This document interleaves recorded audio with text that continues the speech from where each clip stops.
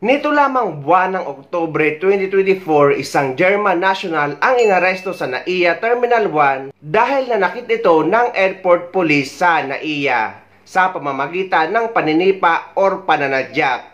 Nangyari ang insidente dahil tumatanggi ang nasabing German national sa mandatory screening at nang kakausapin nito at paulit-ulit ng kinakausap ng pulis ay sinipa siya ng German national.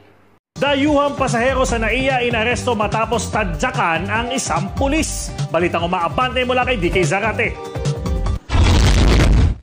Sa kulungan ng bagsak ng isang dayuhan matapos manipa ng isang pulis sa Ninoy Aquino International Airport Terminal 1, ang sospek ay kinilalang si Suleima, isang German national na biyaheng Vancouver, Canada.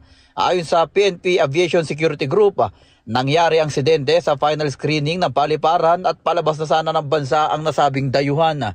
Tumanggi itong si Sulaima na sumailalim sa mandatory screening kahit ilang beses na siyang pinakausapan ng screening officer hanggang sa tumaas na ang tensyon at tinulak netong dayuhan ang nasabing police officer at hindi pa to nakontento. Sinipa pa niya ang pulis dahilan para siya ay arestuhin. Nasa police station 1 nang naarestong dayuhan na naharap sa kasong paglabag sa Article 148 Direct Assault at uh, ah, 151 Resistance and Disobedience to Person in Authority.